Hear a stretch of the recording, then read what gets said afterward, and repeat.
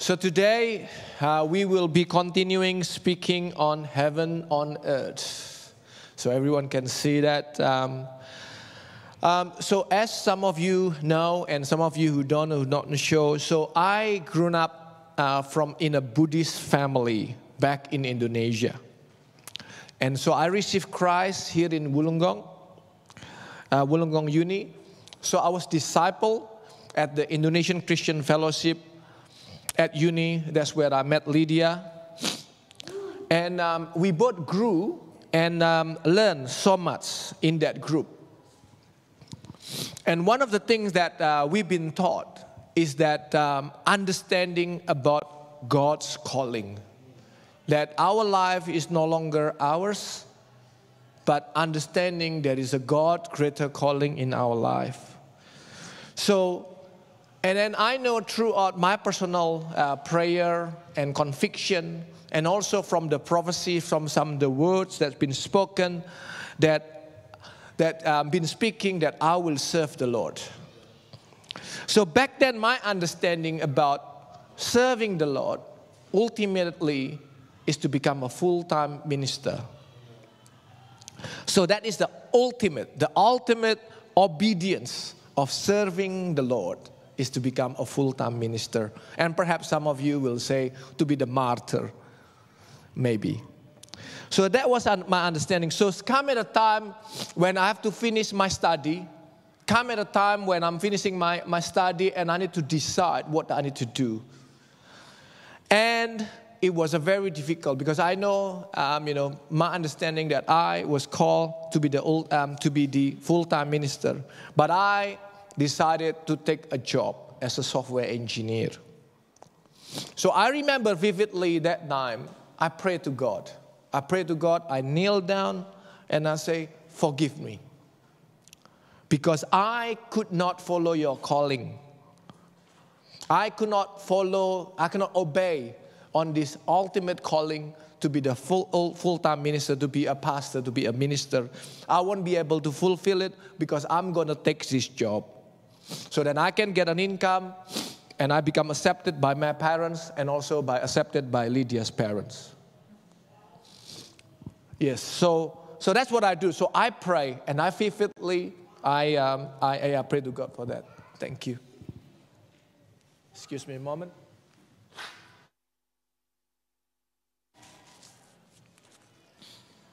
So and that is the reason why, if you wonder that um, I will be, uh, I've been avoid going on a boat on, on the swim in the ocean, because I do not want any big fish to swallow me and spit me out like Jonah. So, but seriously though, all those, year, uh, all those years are working, I carry this guilt. I carry this guilt that I'm running away from God's calling that I'm not in the best place and I'm not in the right place, in the best profession to serve the Lord. Writing code, designing software, doing support call. You know, I thought it was a second grade in the kingdom of God. So now, do you know that doing life, thinking that you are not doing your best or not, not avoiding things, is a very tiring very tiring life. So, and then I went through that. I went through that. I went through, I was in a very, um, you know, very tiring.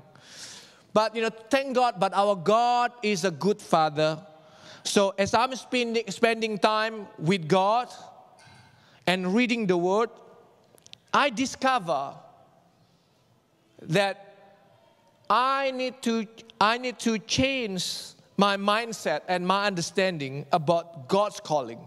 So the one that needed to be changed wasn't my profession, wasn't my career, but my mindset on how God can work and how can we serve the Lord.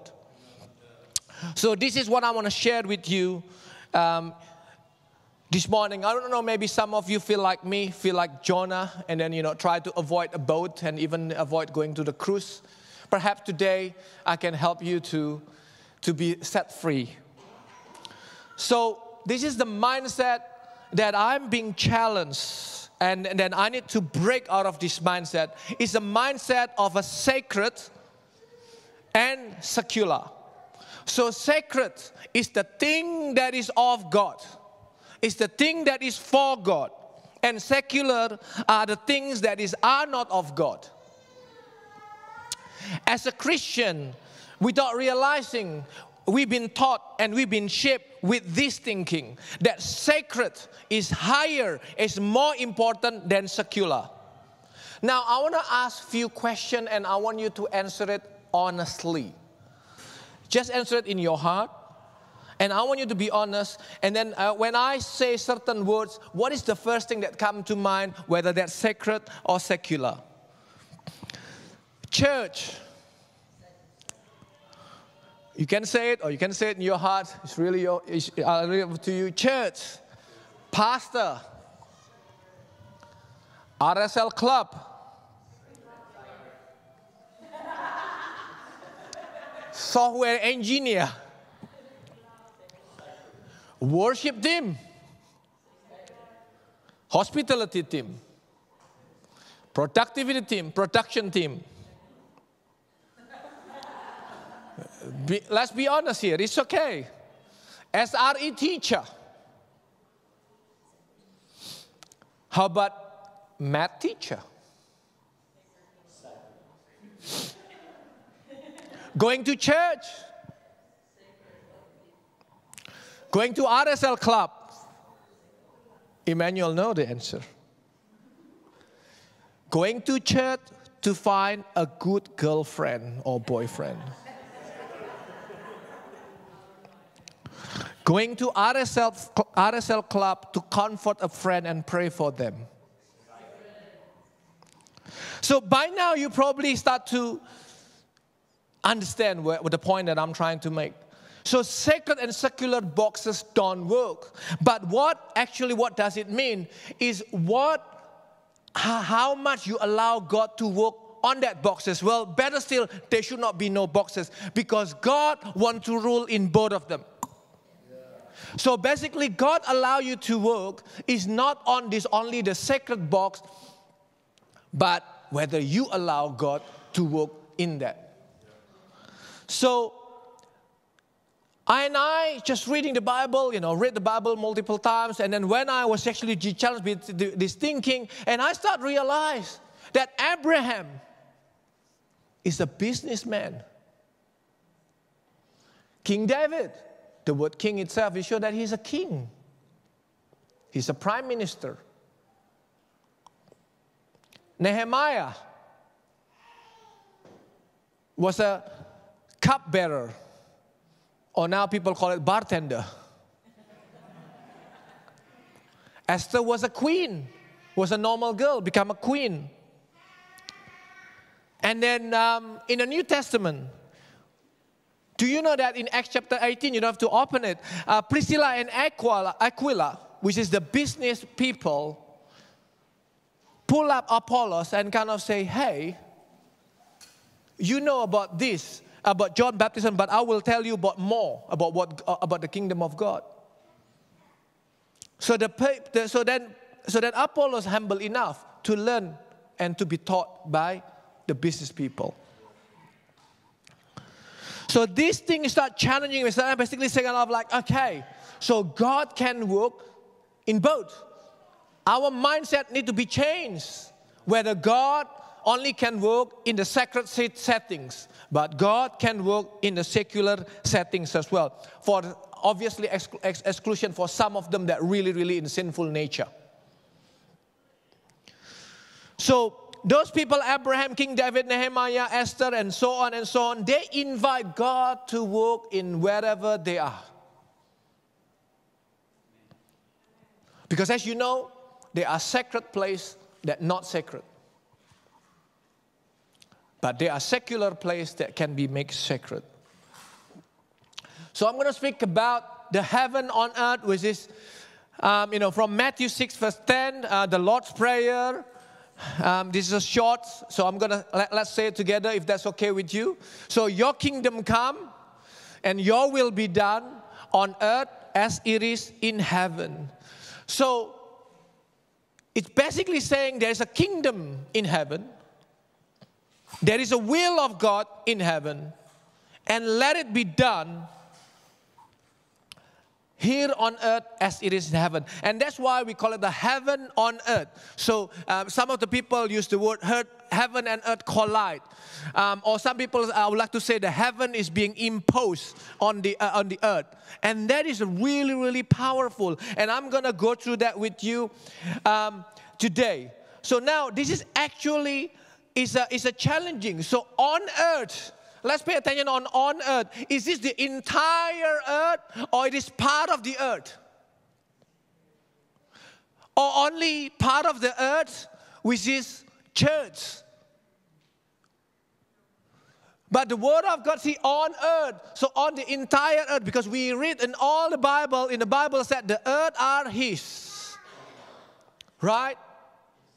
Everything's all are His. So that's why so the kingdom of God, the will of God, has to come on the entire earth.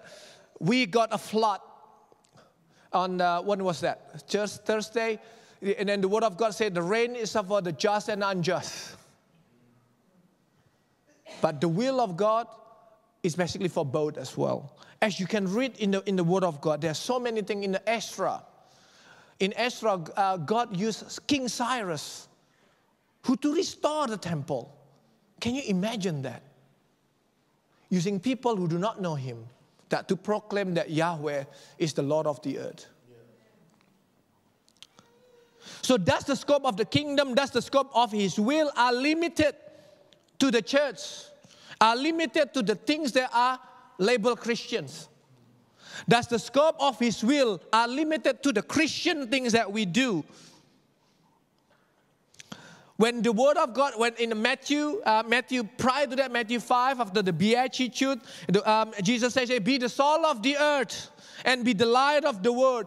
Now, we are called to be the salt and the light of the world. Are we supposed to be salt only for the Christians? Only for the light, for the Christian, for the people who are close to us and nice to us? But the calling of the salt is to the people out there to the people who are not nice to us. And this is a, um, this is a, a questions that we are all struggling, and we are all in a journey, including myself. Now, I want to ask few questions. Now, when someone who have not received Christ and they receive Christ, yeah, do you expect the person change for the better? Yes? Common consensus when someone receives Christ, you expect their life will be better. Their life, their behavior will be better. Now, do you expect when someone receives Christ, their family or the people, their flatmate, their surrounding, their friend will God eh, will, will see the positive impact of changes in their life. Do you expect that? Yeah? No? Yes. Now, I want to ask a, a, a question. Now, so if the number of Christians per capita in a certain area, just talk about in the city, in Illawarra, or in Fairy Meadow, whatever you want as, as a scope is. Say the number of Christians increase in the particular area, in the particular city or region. I want to ask you a question. Will you expect that the crime rate on that place will go down? A lot of people nodding. Do you expect the the schools will be a better place for the students. And I think Pastor Adrian mentioned this. Do you expect will be more reveal of a justice on that place? So if the answer is yes, then will it be fair to say that we, some of us, most of us agree that we become Christian has an impact to our surrounding. So we become Christian, become disciple following of Christ, there will be an impact to the crime rate statistic. We kind of agree with that. So whatever, so because because then it will not be make sense if the number of Christians. So, so now I'm going to ask a different question now. Okay, so I'm going to stop there. I'm going to ask a different question. Now, what do you think then? If in statistic wise, the number of Christians go up in the particular area, but the crime rate go up, what does it tell you? What does it tell you? Devil doesn't like it. Or perhaps the Christian doesn't have enough impact.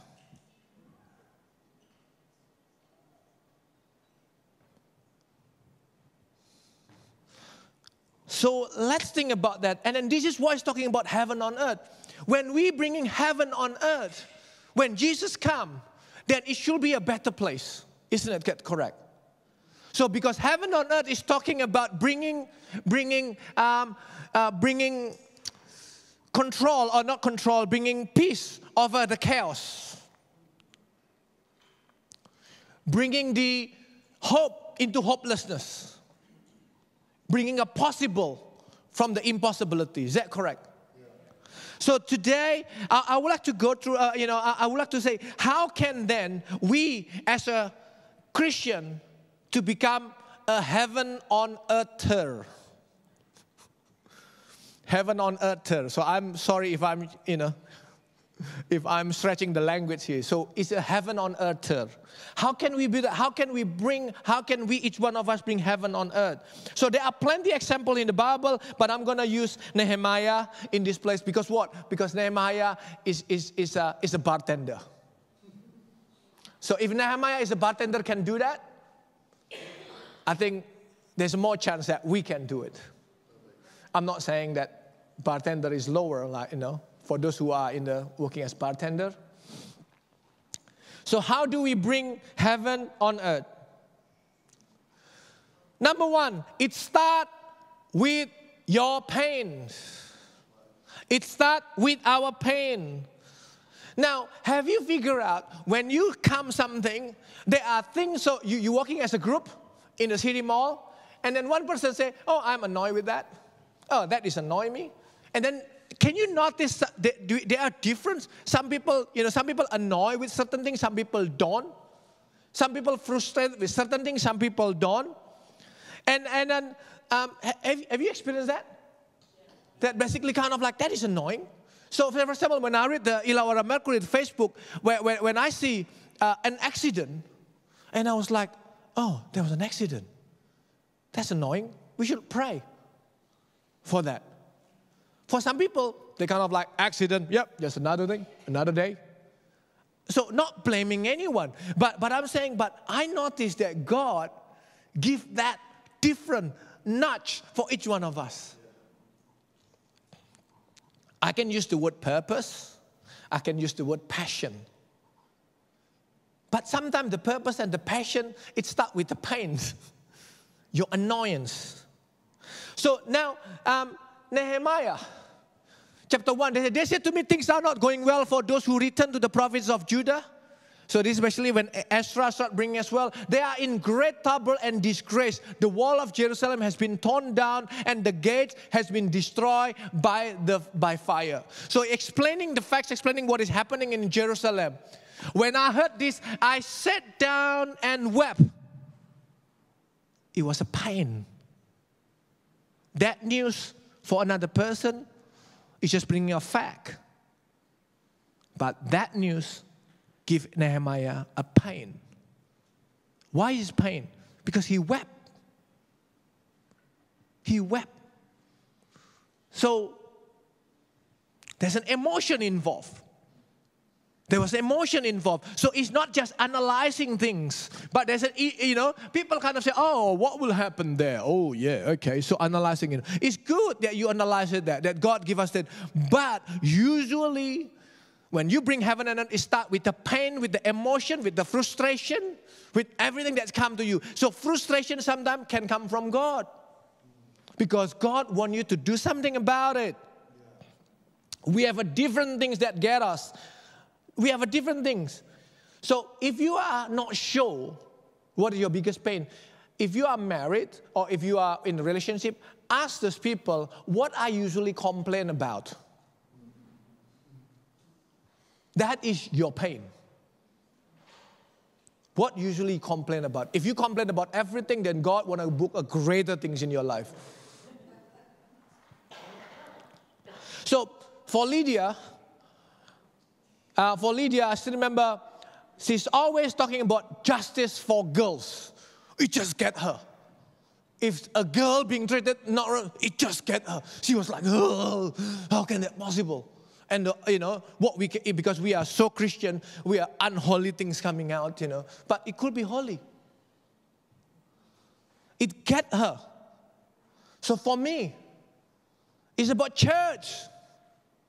When something about church, when I hear about the leadership of the church, and I hear about abuse in the church, it just gets me.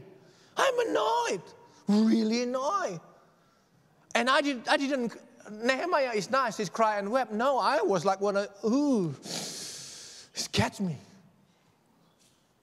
For King David, the Israelites being, the, the, being mocked by the, the Philistine and by the Goliath, right? But everyone kind of like, oh, well, it is what it is. But King David coming and kind of like, how could you allow that to happen? It gets me, man. It gets me. How can you stay quiet? No one want to fight. Let me do it. So whatever that it gets you, I'm just to give you a good news this morning. God want you to do something about it. A lot of people kind of say, oh, you, you know, you just complain and say, what you want to do about it? Nothing. That basically pretty much the same as the Israelites hearing Goliath mocking and kind of like, you develop a resistance about it. And the pain is no longer there. Whatever your pains, God wanna work in that pain. Our friends, you know, remember our friend Letitia Shelton, um, you know, in the City Women Toowoomba, he coined this term, the harvest is on the pain. When we see the pain, we walk into the pain, and the harvest is on the pain. Next one. So after we go praying, pain, what should we do? The lowest thing that we can do, or the simplest thing we can do, is complain. Whinging. You can do that for a few minutes. We allow you to do that. Okay. But then after that, I'm going to ask, what you're going to do about it? And the answer is, you pray about it. You pray about it. Nehemiah said, when I heard it, I sat down and wept. In fact, not only I'm in painful, I am uh, I'm mourning, I fasted. He took responsibility, he took action. He fasted and he prayed to the God of heaven. So now I'm going to ask you when you are annoyed with something, when you have a pain about something, about injustice, about all those things, when is the last time you fast and pray about it? If there's something you can do, that is the minimum you can do. You can take the responsibility, and I'm going to pray about it. Pray to God for strength. Pray to God for God's solution. Now, usually people don't do anything because they say that the problem is too big. I cannot do anything about it. Now, I always ask the question if you can't do anything about it, why God keep nudging you on that area? That's my question. Maybe you should pray for God to God, please make me not being annoyed anymore. And if that is your calling, usually it will not be answered.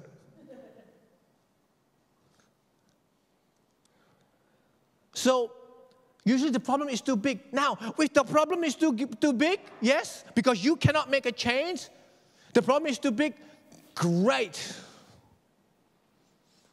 Because the bigger the problem is, the more we're relying to God. The bigger the problem is, the more we know that it's not us. The more we need to fast and the more we need to pray. Isn't that amazing? So when the problem is too big, great. That's why you can pray. Now I'm going to ask you if your prayer life is dull, you got nothing to pray about, perhaps you've been so much of running away from the Goliaths that God wants you to take. Because our prayers, prayers should not be dull. We of say, no, oh my goodness. Well, there's a lot of injustice in the world. I'm going to pray about it and I'm going to do something about it. So when our prayer, we are moving for the prayer from God, please bless me. We cannot say, God, please bless my, my, my area, my city, my place, my, my the, the surrounded me. Plus, you know, so we do something about it. So our prayer life will no longer will be dull. We have something to be pray about. When we lift up our hands, when we sing, we cannot praying, oh God, I'm praying for, for, for the students. I'm praying for this, um, you know, from, from, um, from, the, from the high school student. You know, from my friends. You know, all those things. You, you start bringing that because you know the problem is too big.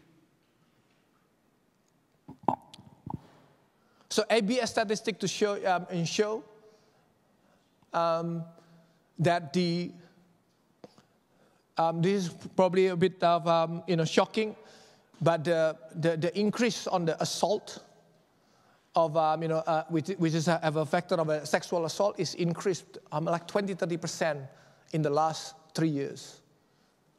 And a lot of them is actually, portion of them is caused by 15 to 19 years old. That should get you. That should get you. That should get us. All those girls and some of the men are being assaulted. That should get us. It should get us. When the people were being robbed, being, being beaten, beaten up, it should get us. Should get us, isn't it? So it should get us. Our prayer life will not be dull because we're praying because we still have works to do. We still have a mission to do. Amen? So, I'm sorry. I'm getting too excited. Excited or affected, whatever it is. So, now how can we bring heaven on earth in our workplace, in our home, in our school, in your vocation, and perhaps in your vacation as well? Might as well. So we need to bring heaven on earth in all those things, not only in the context of a Christian thing, but in the context of outside. Um, at, at Cell, we spoke. Um, you know, uh, uh, you know, Pat here, you know, did um, some works on the. Oh, I already missed the time. I better finish up. I'm sorry. Adrian, they said to keep me going. um, I'm sorry, I'm, I'm, I'm out of time. So, but there are so many that people can do in their, in, in their works. I'm to finishing up. So, next one, after we pain, pain, prayer, we need to plexion because I cannot find another word P. So this is something that will get you. Remember, you need to plan and action is you need to pain, prayer, and then you're gonna start taking action. This is where it's actually gonna be excited. Um, um, James chapter 2, verse 14 say, What good it is, dear brother and sister, if you say you have faith but don't show it to your action. Can that kind of faith save anyone? How good it is we have faith to God, but we don't do any action. If you read book of Nehemiah, he do a lot of planning, he do a lot of action, and it's not a sprint. I just want to warn you, it is a marathon. Don't expect that it's only going to be two, three months. But whatever it is, it's going to be a marathon. And that's why you need to equip yourself with people that also pray for you, with the people that partner with you. And most of all, you need to have a people that you can be accountable to, to help you to go through that together, together on your calling. Amen.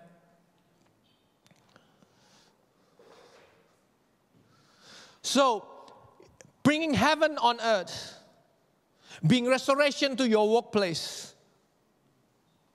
Now, there is this, um, I, I, just want to, basically, what is on earth? What is on earth? So there are people make it easier for us. What is actually the sectors of, uh, of, of, of, the, you know, where, where we live at the moment in the modern life? So number one is family. Bring heaven on earth in family. Bring heaven on earth in religion. That should be obvious. Um, bring heaven on earth in media. Bring heaven on earth in entertainment, in the business, in the government, and education. So, so there's some teaching basically asking you to take dominion over it. But that's not what I'm asking you this morning. I'm just asking you this morning, just make a positive impact to that. Making the gospel work in that. How does the gospel work in media? How is the gospel work in entertainment? How is the gospel work in the business? Think about that. And then now for the people in the business, I sometimes I disagree, I just want to say it, I disagree with this. Okay? Yes, I'm not trying to be nice, but I'm just I'm disagree with it. I'm disagree with some people sound like I do whatever I, I like to do in my business to, to make profit, but then the profit well I'll give it to the church. But then you do horrible thing in the business. I disagree with that. Just want to say it completely. I disagree. Because when you bring heaven on earth, you have to do the values of heaven on earth. When you do the work of the kingdom, you have to represent the kingdom. And if you ask where, you can read, read beatitudes. That is the value, the culture, how you bring the heaven on earth. If you're trying to bring heaven on earth and you're being nasty on everyone, no, that's wrong. The beatitude is the value of the kingdom. So today we have learned that we should not have a sacred or secular mindset when it comes to the scopes of how God can work through us. So when you are thinking about study, to everyone thinking about study for a student and all those things, think about what God's calling in your life.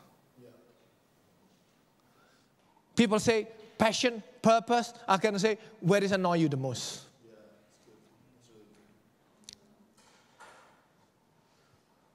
So it starts with the pain. It continues and start. It continues with the prayer, and it happens with our plexion.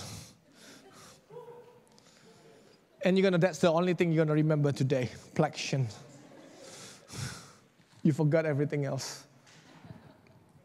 But that's good. You bring order into chaos as you bring heaven on earth. You bring hope to the hopelessness, and you bring heaven on earth. I'm going to ask you questions, and I want you do not have to answer it. I want you to just write it down so that this can be a discussion with your spouse at yourselves. Is there an area of pain you would like to bring heaven into? My first question is there area of pain that you like to bring heaven into? Now, it doesn't matter whether you can do it or not. I just want you to bring it down, uh, just write it down. Because it, sometimes it doesn't matter whether you can do it or not. But if God give you that nudge and annoyance, it must be God is trying to say something to you. Write it down. And then after that, you speak, you pray, like what Nehemiah. And you speak to your cell leader, speak to another person. Hey, I have this. I want to change the words. Um, I just feel like, um, say there was um, you know a person kind of like um, why there's always um, spiking on the drink. I'm annoyed with that. Maybe part of your study you can find a solution. That's bringing heaven into earth. Well, the best is probably not go to the not, not drinking so much. But you know, so you keep thinking about it, keep thinking about it. And then now, after you talk to the person, ask them to pray together with you. And what is the next step? It will not be quick. It could be a life's calling. For me, because I've been working in the um, 18 years in the uh, compliance and all those things, what gets me is a people injured, fatality, people died. I feel that those, those people are being robbed, the family being robbed. And recently, because I'm working in the aged care and the disability, when I, when I, when I heard the Royal Commission say, I, you know, I, I think I'm not going to quote a number, but there's a large percentage, could be a 70%. If, I, if, if I'm wrong, please correct me. Pat probably know, me, know better. That um, all those people who are 65 plus, they feel that they are no longer being useful on her, just waiting. That gets me. Because there are some people who want to breathe, they can't breathe, but there's people who are, give, you know, still be able to breathe. There should be a purpose of God in their life. It gets me. So that kind of thing, it gets me. It gets me as well, uh, and, and I'm, I'm, I'm apologize for this. It gets me as well when someone say, let's pray for generations.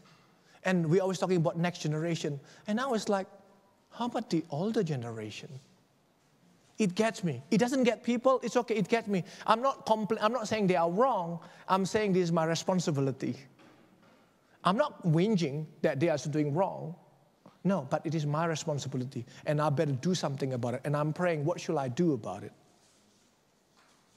Get it? So I want to pray. Before Pastor Adrian messaged me and said it is too long.